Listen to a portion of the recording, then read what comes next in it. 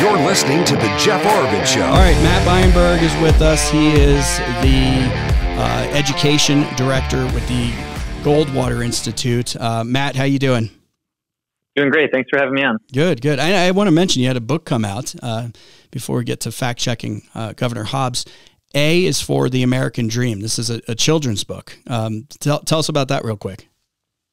Sure. It's actually a new kids book we put out as part of our uh, Van Sittert Center for Constitutional Advocacy. Um, a is for the American Dream and basically an alphabet book for kids uh, that kind of goes through issues like the Constitution, gratitude, hard work, uh, kind of the ideas of America's uh, you know founding and just kind of good old fashioned principles of of the U.S. So we put this out. You know, there's so much garbage out there that's getting sent over to kids. We thought that you know parents are hungry for for good resources. So we uh, we released the kids book. A is for the American Dream. Uh, you can get it on Amazon. You can get it on A is for the American Dream.com. And yeah, we're super excited to be sharing that with folks. That's great. I don't, I don't think it's necessary though. I mean, you just go to the public schools and you learn all about that stuff already, right?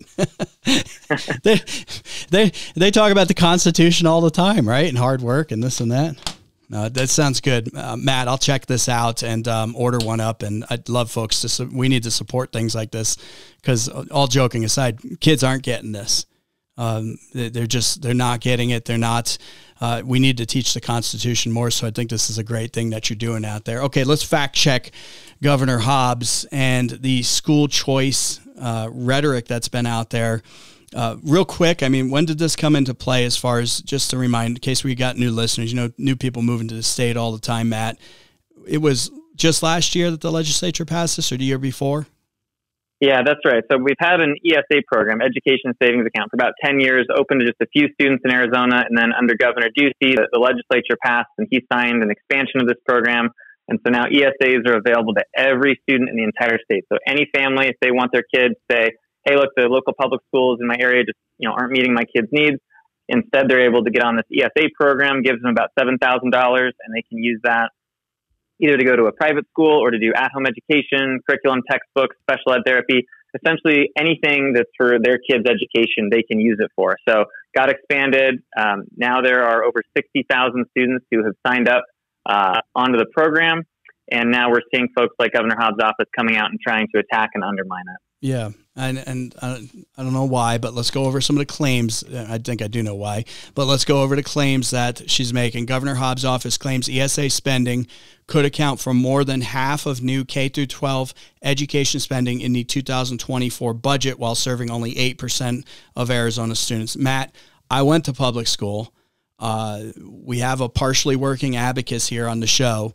That don't sound right to me. That doesn't add up in my simple mind.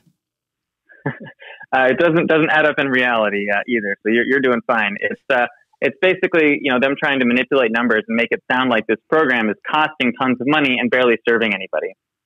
And so we pointed out that if you actually look at this, this ESA program, even with 60,000 kids on it, its total cost for all of those kids is about 2% of what is spent on Arizona K 12 kids, right? So the idea that this is somehow breaking the bank and, and channeling all this funding away from others into this just doesn't add up. You're, you're really talking about a tiny sliver of the total spending, but they're trying to play games with what funds they count and don't count to make it sound like you know half of our dollars are going toward this, but it's just serving a few kids. The reality is, no, two percent of what's being spent on Arizona K twelve kids is going to the ESA program, but they're trying to spin it to make it sound like that's what's throwing things out of whack. And just to back up here, Matt, you got sixty thousand kids on the ESA program now in Arizona. That's right. Okay. How many kids are in the public school system? I've heard the number 1 million. Is it more than that? Is where's that at? Yeah, it's a little north of a million. Yep. So again, you're okay. talking, uh, you know, uh, a much smaller percentage of of, uh, of what's actually going to ESA kids, and, and that number is growing. Um, and you know, we like to kind of point out even that million public school kids. That includes, uh, you know, about a quarter of that are families who've chosen public charter schools. You know, and that's using school choice. Those are great schools. But even that, right, is, is now 20, 25% of the student population. And our public education system hasn't exploded, even with the huge growth in charter schools, right? We still have district schools. They've been crying for years that, you know, charter schools steal money, they steal kids. Uh, and, you know, obviously that hasn't borne out. Um, the schools are funded more today than ever before in the past. And so this is all scare tactics. We've seen it before when they tried to oppose public charter schools, and now we're seeing it with, with ESAs because in both cases, they basically view this as competition and they don't want families to have that choice to be able to escape you know their monopoly where they get paid each time they bring a kid in. Well, in my world, I don't see boarded up schools all over the place, public schools, Matt. So I would uh, may, maybe they are somewhere, but the numbers just don't look like that. Sixty thousand kids. Let's just go with a million kids in the in the school system. My simple, just in my head, is that six percent of the kids are now going to uh, uh use, utilizing the ESA program. They're claiming it's taking. They're they're claiming um, it's taking up majority of the budget. You said, or over half the budget. And only eight percent of Arizona students are using it, but that's that number doesn't jive right. You're saying it's taking up um, two um, percent. Yeah, they're okay. trying to. Part of their numbers are based on their, their speculation about how many kids are going to be on the program in a year from now. So they're taking these very, very high estimates, okay. which are not what the budget analysts are projecting, and saying if it grows to this other number here, look, it's going to cost all this money, and it's gonna it's gonna be this eight percent of kids. Even even if those estimates are met, and we get to that point where it's six or eight percent of, of students, you're still looking at it being about six percent of the total spending, right? It's it's still it's always going to educate more kids, you know, as a percentage who are being served than it costs the budget, right? So if you're educating 8% of kids and it costs 4% of the budget or 6%, it's still a good deal from the perspective of taxpayers, right? You're educating students for less money per student. And this is something we've pointed out, you know, rather than getting kind of bogged down in the percentages, it costs $7,000 for a typical student on an ESA. The average spending per pupil in an Arizona public school is $14,000. So it's, it's just set everything else aside, twice as much money to send a student on average to the public school system as to give them an ESA. Okay, Matt. And, and Matt Beienburg's with us with the Goldwater Institute, Director of Education Policy.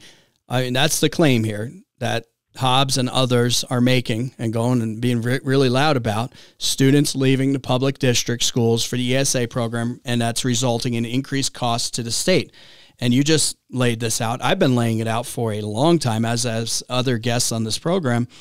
Seven thousand dollars, like you said, if you utilize ESA, if you even qualify for that much, that's what follows you to the private school. But if you stay in the public school, that kid, that body's costing fourteen thousand. I've heard thirteen. You're saying fourteen. Okay, about double.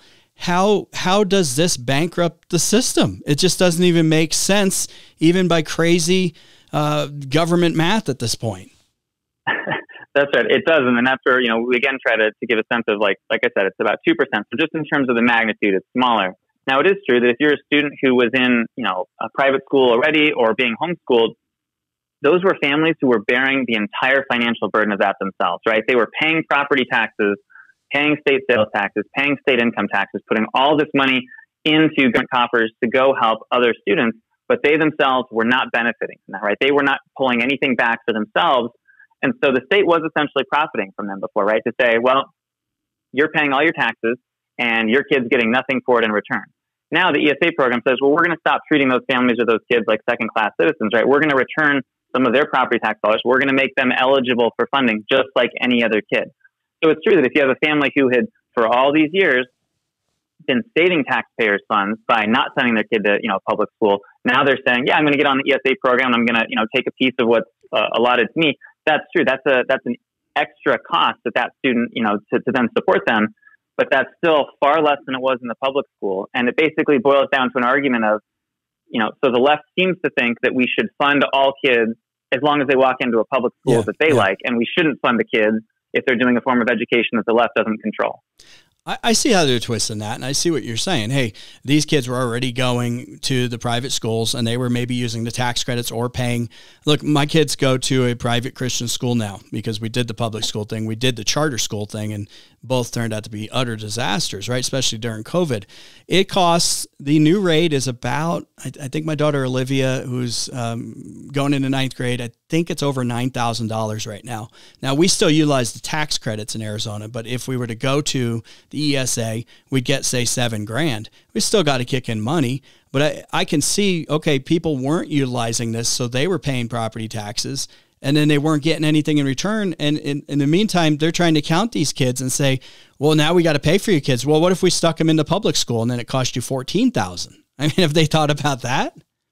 That's right. Yeah. And you, you've never heard a complaint from the left to say that we're, we're going to uh, not be able to, to, you know, too many kids are in the system. We shouldn't be paying for these kids, right? It's always we need more money. We yeah. need more money. You never hear anything about look how costly these things are. And, and I think it's worth noting there are these families who may be shouldering that burden themselves. Governor Hobbs herself described her, her own story being exactly like that. She was interviewed and she said, Look, my family, I was on food stamps growing up. My family chose to send me to a private school. They made that sacrifice.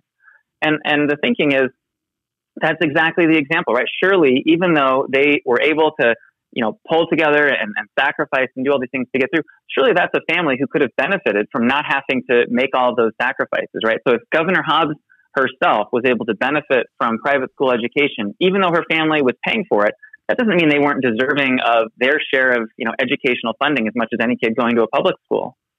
Yeah, but we've seen this on education. We've seen this on private security. You know, you and I could probably go on for hours about the things that they're hypocritical on when it comes to oh, but you go first kind of thing. You know, that that's typically what happens. Okay, another claim here, Matt, is that the ESA program could result in a three hundred million dollar budget deficit, and this our great state has not had deficits, fortunately, in a couple years. In fact, they've had billions of extra dollars, and we save that argument for another time about returning some of that money. Um, but is this going to cause a deficit? Where she's coming up with this? Yeah, so she's using numbers that, that again were put out there, and it, it was based off of a memo that her own office uh, said made false assertions. So they, they slammed this memo that came out, and yet they themselves then used it, made some calculations, and said, here's what we're estimating. So again, it is substantially more than what the nonpartisan state budget analysts are projecting. They have the, the actual budget analysts this year, the budget already fully funds uh, all the ESA students that are in the program and growth that's anticipated. And Hobbs folks are saying, no, we think it's going to be even higher than that.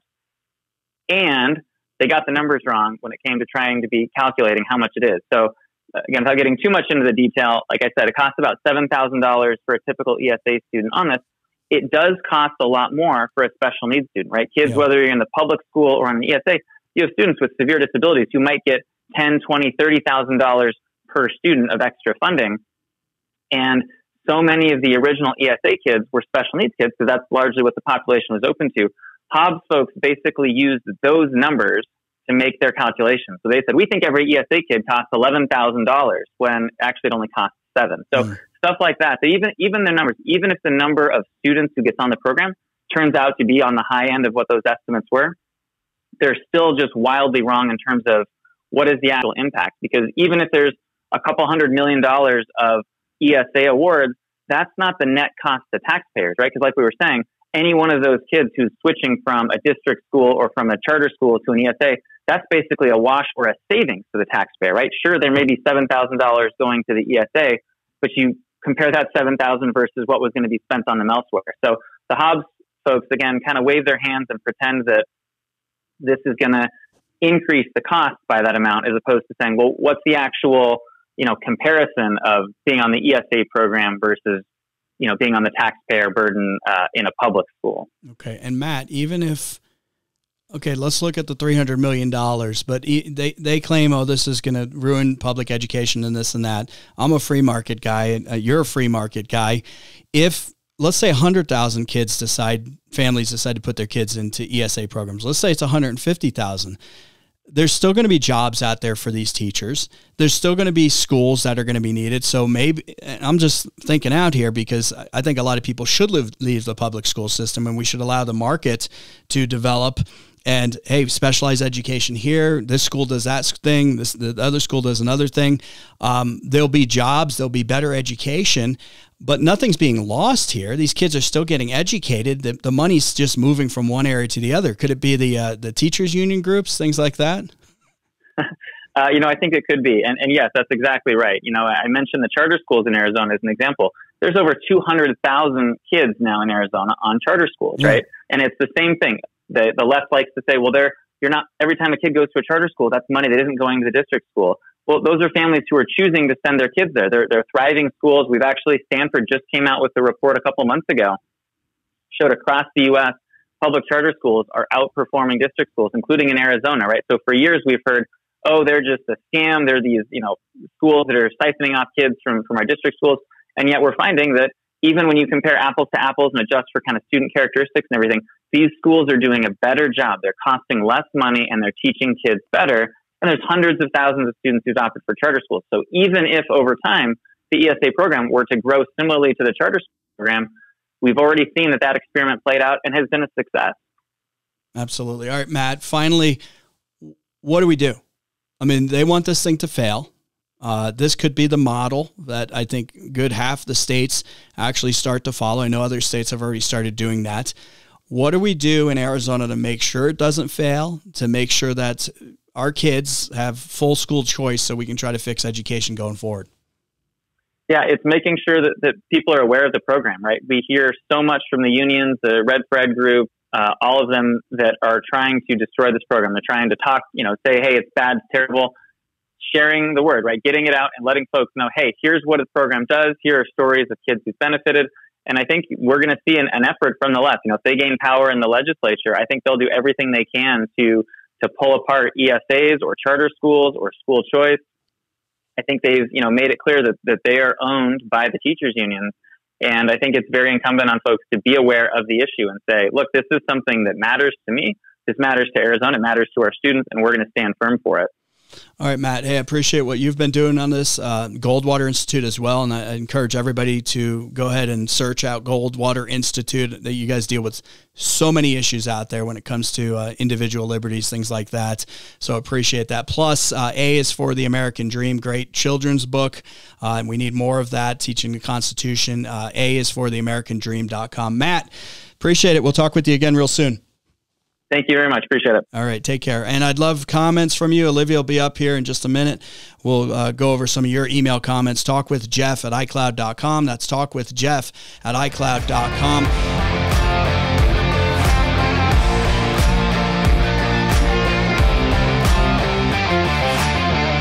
You're listening to The Jeff Oravits Show